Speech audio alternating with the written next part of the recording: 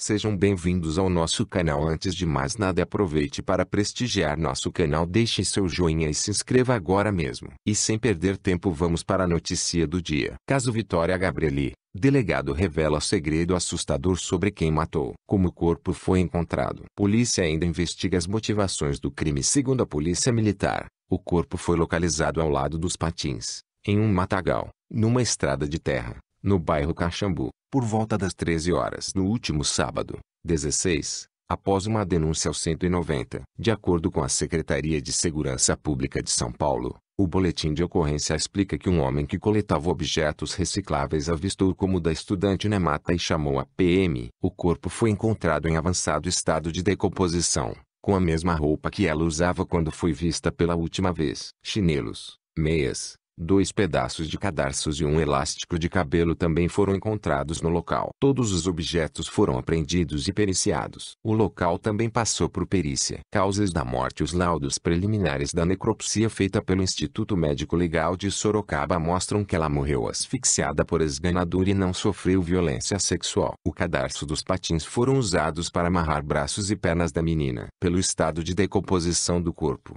é possível que ela tenha sido morta no mesmo dia em que foi levada. Porém o laudo final ficará pronto em até 30 dias, disse o advogado da família, Roberto Guastelli. Sigilo das investigações. E aí, o que você achou? Deixe seu comentário. Obrigado.